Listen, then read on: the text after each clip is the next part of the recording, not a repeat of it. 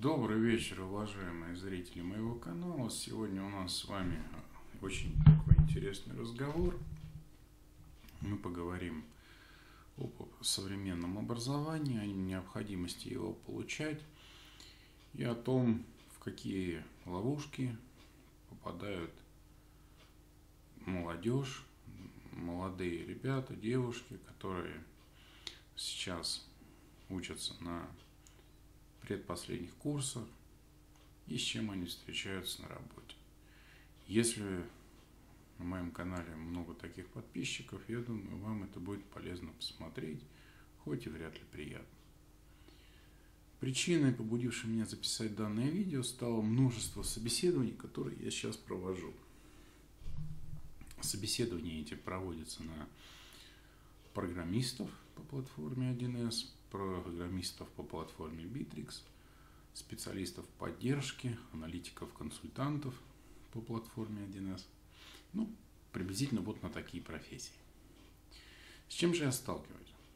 А, сталкиваюсь я с тем, что приходящие на собеседование вчерашние студенты, ну, выпускники этого года, не обладают практически никакими компетенциями, которые они должны были получить в вузах.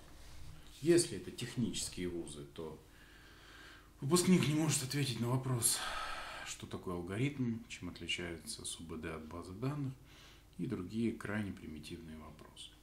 Если мы собеседуемся на позицию стажера. Зато выпускник имеет огромное количество требований компании, начиная от крайне удобного рабочего места, заканчивая невероятно высокой оплатой труда.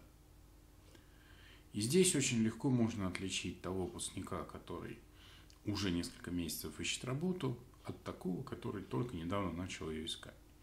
У тех, кто не так давно ищет работу, требования вообще непомерные, как у рок-звезд. А у тех, кто, ну, собственно, уже где-то там с августа ее ищет, уже некий проблеск разума в глазах, и, конечно, они уже не требуют отношения к себе, как к высококлассным специалистам.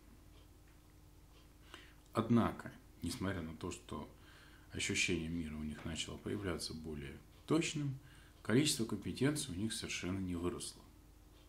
За то время, пока они ищут работу. Работу они ищут на удачу. А вось куда-нибудь возьмут. Небось, где-нибудь пригожусь. Нет, уважаемые выпускники. Так можно было думать в школе. Как только вы приходите на первый курс вуза, вы уже, вы, а не ваши родители, должны думать о том, кем и когда вы будете работать после завершения высшего учебного заведения. И думать об этом надо не в тот момент, когда вы отдохнули после получения диплома, а с первого дня учебы. Ну хорошо, с конца первого месяца учебы. Первый месяц там адаптация, знакомство с вузом – наверное, пока можно не заниматься этим. Но вот в начале второго месяца учебы вы уже должны начать понимать. Я не говорю о том, что вы должны были в ВУЗ поступить, понимая, куда вы идете. Потому что у меня просто нет понимания, как, как откуда берутся люди, которые на фриланс-биржах выкладывают потрясающие объявления. Ищу фрилансера, чтобы сделать курсовую работу по программированию. Кто не верит, зайдите на ФЛ, там полно таких объявлений. Ну, это что такое? А очень просто, да, тут человека, которого тошнит от слова программирования и от математических формул, у него начинаются дергаться глаза, родители запихнули в этот вуз, потому что программисты же много получают. Ну, если нас смотрят не программисты, я думаю, и нас смотрят, я хочу обратить, уважаемые, ваше внимание, что невозможно в этой профессии много получать и быть оторванным от бесконечного непрерывного развития. Технический специалист, он должен учиться до последних дней своей трудовой жизни. Если в какой-то момент, например, в 70 лет, там, не знаю, вы готовы сказать, что все, я ухожу и больше я не занимаюсь техническими вопросами за деньги, это ваше право. А вот до этого момента вам придется учиться. Элементарно, потому что я беру учебник по 1С какой-то конфигурации прошлого года, конфигурации 1С ZOOP. зарплаты управления персоналом. Его можно в мусорку выкинуть, потому что куча всего изменилась. Даже экзамены, которые вы сдаете, спецконцы. Ну, вот у меня есть спецконс по ERP версии 2.0 в эпоху, да, по управленческому учету. Что, с тех времен ничего не изменилось? Нет, уважаемые выпускники, той точки, за которой вы стали знать все. Вам придется учиться каждую минуту, каждую секунду, непрерывно. И никто не будет вас учить. Вы приходите к работодателю и ждете, что вами кто-то будет заниматься, вас кто-то будет учить. Так я вам открою глаза. Работодатель платит вам за пользу, которую вы приносите компании. А вы ее приносите? Нет, вы не то что в ноль, вы еще поедаете время вашего наставника. Причем с таким видом, как будто делаете ему одолжение. И компании делаете одолжение, что вы выбрали ее на всем рынке труда. Ну, понятно, на самом деле. Я уже обратил внимание, что самыми лучшими специалистами становятся те, кто 6-12 месяцев не мог найти работу. Но вопрос в том, если эти люди параллельно продолжали развиваться. История о том, что как сложно невероятно учиться, ну что значит невероятно сложно? Куча бесплатных видео на том же YouTube по программированию. Mail.ru на своих техностримах выкладывает видео просто огромного качества, элементарно веб-программированию основам, как минимум на джуниора или питонщика, или даже тот же 1С, по большому счету, чтобы пройти собеседование на программиста джуниора практически по любому направлению, бесплатных материалов вполне достаточно. Пытайтесь, пишите свое. Ко мне приходит человек и говорит, я учился в ВУЗе 5 лет. В крупном государственном воронежском ВУЗе, специализирующемся на технологиях и математике. Я спрашиваю, что ты написал за эти 5 лет? Неважно на каком языке дай мне ссылку на GitHub, я хочу открыть то, что ты написал. Пускай это будет Python, Visual Basic, неважно вообще абсолютно. Дай мне это посмотреть. Скажи, чего ты хотел достичь и что ты написал. Может быть, это программка, там, будильник на андроиде, часы, которые ты себе придумал. Дай мне на это посмотреть. Ничего нет. Ну что ж ты пять лет делал в ВУЗе? учил высшую математику. Ну, вот тебе вопрос там, что такое матрица. И ты не можешь ответить на этот вопрос. Ну как же ты ее тогда учил? Ну я сдал экзамены. Уважаемые выпускники, от того, что вы сдали экзамен, от того, что вы приносите работодателю 38 красных дипломов, ничего не происходит. Это никому не нужно. Запомните, деньги платятся работодателям только за решение задач чем более сложные задачи и полезные для бизнеса вы решаете, а чаще всего это прямая связь, чем более задача полезная для бизнеса, для бизнеса, тем более она сложная, тем больше денежек ваш работодатель будет вам платить. Вы же хотите больше денежек получать. Мы поговорим о тех, кто не хочет получать. Но мы сейчас с вами говорим как бы об общем, да, об общем представлении. Человек хочет получать деньги. Вы хотите больше, вы хотите путешествовать, вы хотите ездить в отпуска, вы хотите, чтобы у вас был ДМС, вы хотите спортзал, вообще на, собеседовании вы рассказываете, как много вы хотите, на, на вопрос о том, что вы положите на вторую чашу весов, ответа никакого нет. Может быть, тоже об этом пора подумать. Я повторюсь. Те, кто поступает на техническое образование. Если, конечно, вы не поступаете в МГТУ, в Бауман, куда-то элитный, но вряд ли. Тем не нужно мое видео. Там все и так расскажут. С третьего курса вы должны работать.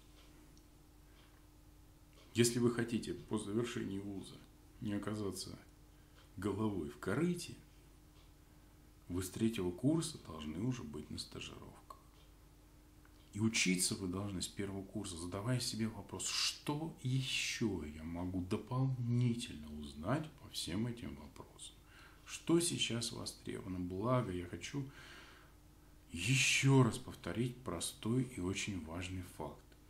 Нет у нас проблем сейчас по крайней мере в Российской Федерации, в которой нахожусь я, не знаю, где, уважаемые зрители, вы находитесь, но я точно знаю, что в Российской Федерации, в Республике Беларусь нет проблем с получением доступа к образовательному контенту.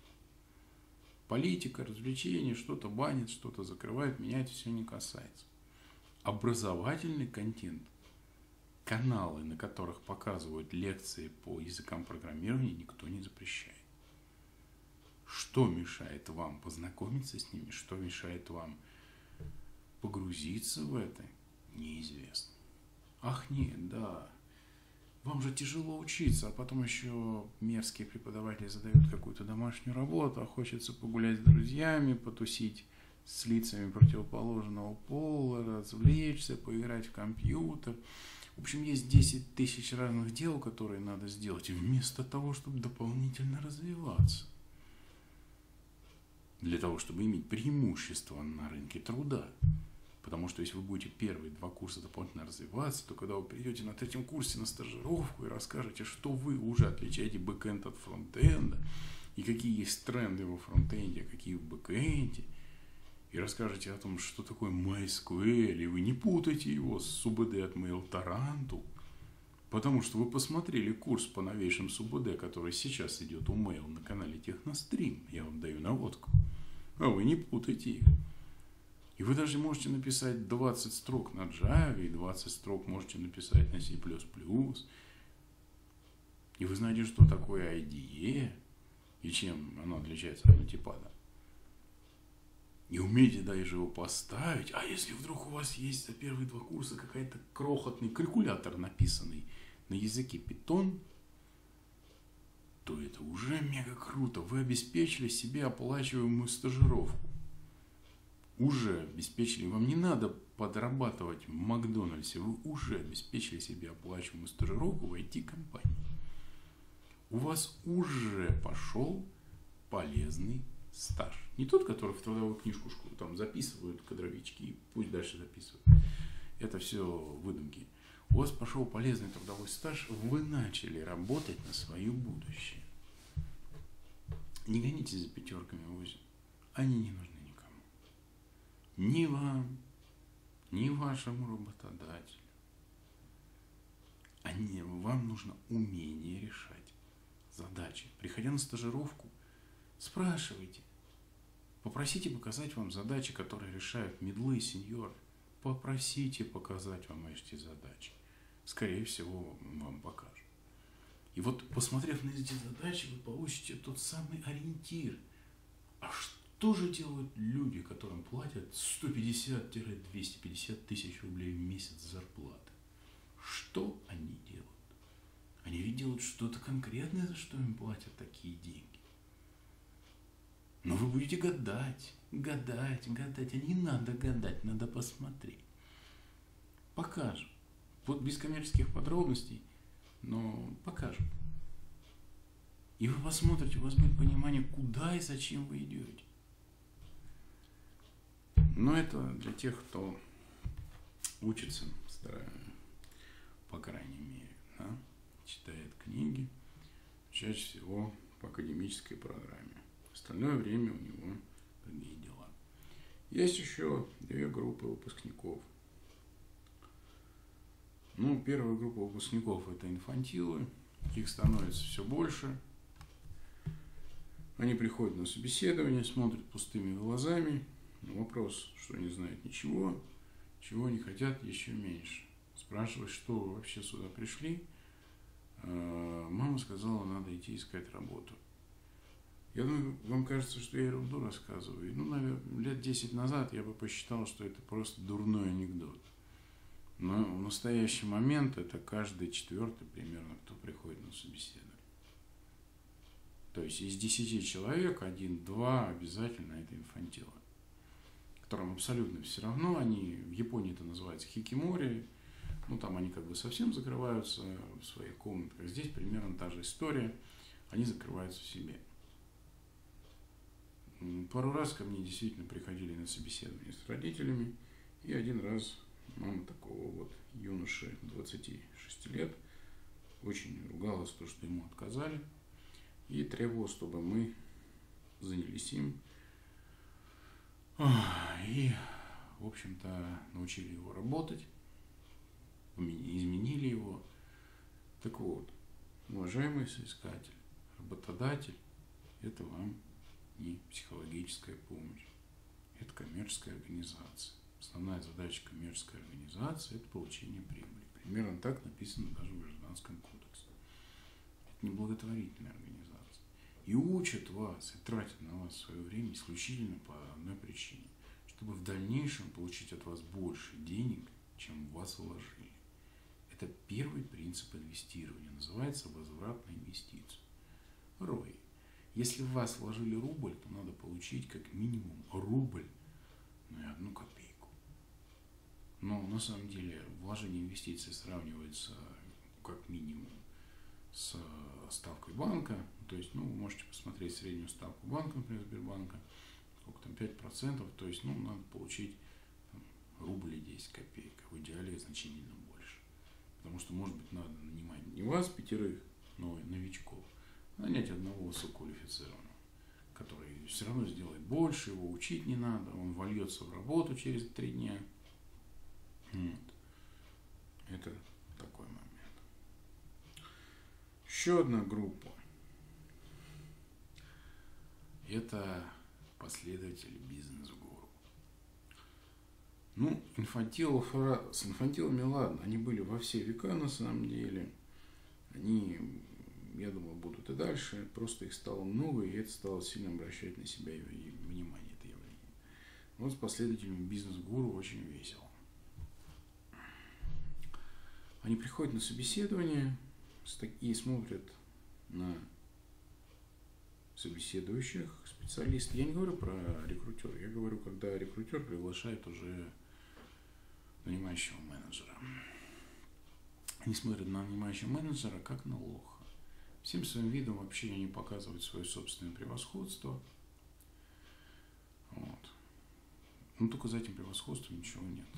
Обычно это воспитанники тренингов личного роста, коммерческих тренингов, это всевозможные бизнес-молодости и подобная ерунда. Вот. Никакой конкретной базы за всеми этими тренингами нет. Я по этому поводу запишу отдельное видео про всех этих бизнес-гуру, вылезших из подвалов. Но Мода такая, да. На самом деле эта мода построена на русской народной сказке про золотую рыбку. Вот, надо поймать какую-то золотую рыбку, щуку, которая будет по щучьему велению исполнять чудеса. Ну а дальше там будет волшебная печь, которая и возит пациента, и кормит, и поет, и чешет, и все будет хорошо.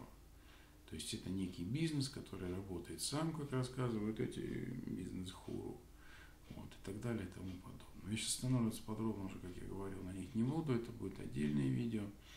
Остановлюсь я на тех людях, которые приходят. Дело в том, что они открывают какой-то свой бизнес, как обычно это ИП, как им советуют. Вот, они, естественно, прогорают, ничего удивительного в этом нет, потому что в 23 года никакой собственный бизнес никто не создает, мозгов никаких еще нет и быть не может, умения мыслить тем более, никаких конкретных деловых связей нет. Вот. Единственный способ такому бизнесу уцелеть – это иметь огромную финансовую накачку от, соответственно, влиятельных людей. Либо быть гением. Но гением, как известно, микропроцент, да, тем более, когда мы копаем фирмы, которые делали гений, выясняется, что в этих фирмах участие принимали очень взрослые мужчины и женщины в качестве менеджеров-администраторов. Вот. Я рассказывал об этом, что это такое, потому что основатель, он может быть техническим гением горящими глазами, но так или иначе, э, профессиональный менеджер, администратора, он, без, без него все это рушится. Вот. Так вот, уважаемые, последователи бизнес-гуру. Когда вы приходите на собеседование, имея в резюме строчку, что у меня было ИП, и вы там пончики делали, кофе варили, ну, какой-то фигней, короче, занимались. Вы свою гордыню-то поубавьте. Она совершенно не обоснована. То, что у вас был какой-то свой бизнес, это не минус. Это очень большой минус. в глазах работодателя. И выглядите вы просто отвратительно. И то, что вы прогорели, это ваш позор. А несчастье работодателя, что вот такой великий человек, учившийся в какой-то там школе личного роста, личных молодых бизнесменов, пришел к нему трудоустраиваться. Вы никто, вы не просто никто, вы хуже, чем никто. Вы уже опозорены. И для того, чтобы вас начали воспринимать хоть как-то серьезно, вам придется потратить годы для того, чтобы получить какое-то имя в профессиональной среде, какую-то репутацию. Вы начинаете не с нуля, как выпускники, вы начинаете с отрицательных позиций. И рассказывать на собеседовании, что вот вы ездили в бизнес молодости, там все было круто, потом вот я открывал. Вы рассказываете о том, что не просто вы туда уже поехали, это уже на вас клеймо. У вас на вас уже клеймо, что вы туда поехали. В любой эти тренинги, в любые. Если бы вы сказали, что вы получали дополнительное образование в МФТИ, учились на курсере, это почетно. Вы учились, вы развивались. А если вы поехали к людям, или пошли, или поползли, как угодно, к людям, которые рассказывают о том, что можно поймать волшебную щуку и выстроить какой-то работающий бизнес за 90 дней, который будет приносить миллионы. Посмотрите на название курсов этих прикольных людей, которые ну, созданы, конечно, для нездоровых. Потому что ну, здоровый человек знает, что за 90 дней невозможно создать ничего, что будет приносить миллионы. Но вы лучше вообще об этом не говорите. Это вот совет. Приходите на собеседование, говорите, вот было ИП, там, с друзьями, не подумавшие. Это как примерно в тюрьму попадал. У нас на Руси была хорошая поговорка. Не зарекайся ни от сумы, ни от тюрьмы. Это шей. Поэтому не надо бравировать этим. Ну вот, да, по молодости, по глупости. Ходил на тренинги личного роста, на курсы молодых бизнесменов, открывал вот, вендинговые автоматы с сырными напитками или еще какой-нибудь фигней. Ну, потом понял, что ерундой занимаюсь, позакрывал все. Вот хочу искупить свое прошлое и работать как достойный человек. Вот нормальный подход. Но вы приходите, беседуете с директором по продажам, с финансовым директором, с крупными людьми, которые отработали – ну, если у меня стаж порядка 7-8 лет, то люди там отработали в качестве управленцев по 10, 15, 20 лет. Да, они свой бизнес не создавали, они приличные люди. Они знают, что для того, чтобы создать свой бизнес, сначала надо отработать годы, накопить потенциал, сформировать команду, а только потом куда-то лезть. Или надо быть техническим гением, имеющим невероятное решение – не знаю, лечение каких-то невероятных заболеваний в медицине, прорыв в сетях, который позволит за 3 копейки по всей планете организовать интернет в сто раз быстрее, чем сейчас. Тогда, да, тогда вы идете к венчурному капиталисту, я погуглите, кто это. Если его заинтересует, он вам даст администраторов, которые в принципе сделают вам компанию под вашу идею. Правда, вы с нее получите 5%, Остальные 95% заберет венчурный инвестор. Ну, хотя бы 5. В другом случае вообще ничего не получите. Так что, уважаемые выпускники, реальный мир, он жесток, но справедлив. Компаний, в которых процветает кумовство на российском рынке, осталось не так много, и все они в основном мелкие. В достаточно крупных компаниях любовниц не устраивают это слишком опасно. Там есть безопасность, всевозможные информационные и так далее. Любовницы соцсети тратят деньги, но не устраивают компанию. Потому что опытный топ-менеджер предпочитает секретаря, знающего свою работу. И знающего ее хорошо. И надо помнить, что секретарь генерального директора имеет доступ к документам с коммерческой тайной. Что-то почему-то на проектах, на которых я работал секретарями у крупных топ-менеджеров были взрослые женщины далеко за 40. И нередко эти женщины имели опыт работы в силовых структурах. В кабинетной, да, не оперативной. Но это были администраторы в силовых службах. И они знали, как работать, соответственно, знали, что такое ответственность, и почему-то их и нанимали. Наверное, глупые были топ-менеджеры. Ну ладно, это небольшое отступление. Так вот, если кто-то подумал, что все, что я сказал, касается технических специальностей, нет, это не так. Приходится мне собеседовать выпускников экономических вузов. Там все еще в разы хуже. Выпускник с красным дипломом, которому задают вопрос, о чем, собственно, ну, что самое простое, разницу между, например, чистой прибылью и рентабельностью. Надо рассказать, что рентабельность это вычисляемый показатель, Бывает так вычисляется, бывает вот так. А чистая прибыль это вот такой показатель. А рентабельность вот такой показатель. Примерные формулы. Так вот, не знает этот человек. Он путает чистую прибыль с выручкой. А то, что есть разные виды прибыли. И не один, не два, и не пять. А что такое валовая прибыль? А что такое прибыль до и после налогообложения? А можно всю цепочку прибыли расписать? А ведь этому учат в вузах. У меня первое образование экономиста. Я точно знаю, что учат в вузах это. И учебники есть. И то, что и экономисту тоже надо развиваться. Я задаю вопрос экономистам касательно финансового рынка, они вообще этого не знают. Я спрашиваю, какие есть модели управленческого учета, и что сейчас, например, как бы в 1С реализована модель Директ Костинг, а последней моделью является Life Cycle Костинг. Вы знаете разницу между ними? Молчали. Но это все можно было узнать до того момента, как вы придете в компанию. Почему компания должна вам рассказывать то, что написано в учебниках по экономике? Почему вы, выпускники, так не уважаете работодателя? Почему вы ждете, что за вас будут думать, вас будут учить, над вами будут пыхтеть? Вернитесь в реальность. Никто вам ничего не должен. Система обучения, еще раз говорю, выстраивается для того, чтобы обеспечить компанию достаточно квалифицированными для выполняемых задач человеческими ресурсами. То есть для того, чтобы получить на рубль вложенный в вас полтора рубля прибыли. То есть купить рубль, еще получить прибыль. И более не менее. Поэтому, подводя итог этого грустного видео, развиваться и учиться обязательно. Если вы хотите стать достойным членом общества, успешным человеком, квалифицированным, уважаемым в своей среде, уважаемым на работе, а не клоуном, тогда вам придется развиваться, тогда вам придется учиться, тогда ваш путь будет тяжелым и трудным. Никакого другого пути к успеху, как непрерывная работа над собой, нет. Уж простите.